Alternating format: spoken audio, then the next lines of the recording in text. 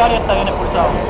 No hay, no hay nada, yo nunca reclamé nada, digo, si el guardalínea ve que la tomo fuera del área, no hay nada que reclamar, si no se puede hacer eso. O sea, fue, no fue un alto reflejo, sino que pensaste que estabas dentro del área. Yo cuando calculo que la pelota, si yo veo que la pelota va para picar, para, para seguir larga, así como venía, la agarro dentro del área, pero el pique me, me, me sorprende y, trato de cabecear le meto la mano por- porque yo sabía que venía saltando casi hacia dentro del área.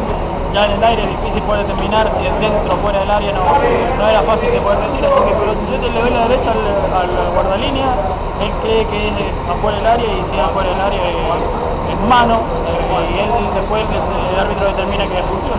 ¿Cuáles son tus, tus, tus sensaciones ahora, tu estado anímico en este momento? No es bueno, no es bueno porque a nadie le gusta salir expulsado, pero entendía también que era la última opción que tenía para evitar el gol. Después condiciona la expulsión, condiciona el, resto del partido, porque nosotros estábamos manejando bastante bien, ellos tenían, eran poco claros para llegar al arco nuestro y quedaba bastante partido todavía, pero con 11 contra 11 me parece que podríamos haber, aumentado el marcador alargado así, pero teníamos el control, de verdad sentía que teníamos el control del partido nosotros. Recién el Luchi en la conferencia se bancó en cuanto a los insultos de los hinchas.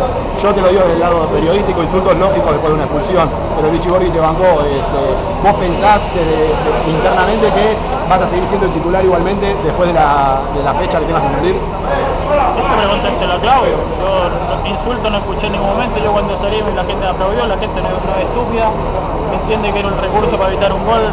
No, yo nunca quiero que me expulsen, nunca quiero perder, nunca quiero cometer errores. Yo trabajo para para no cometer errores, para que no me hagan goles.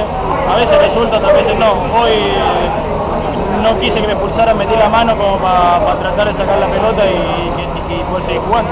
No quise que, no- ni siquiera me di cuenta que estoy fuera del área, así que el Claudio determinará quién es el titular, quién juega, quién no juega.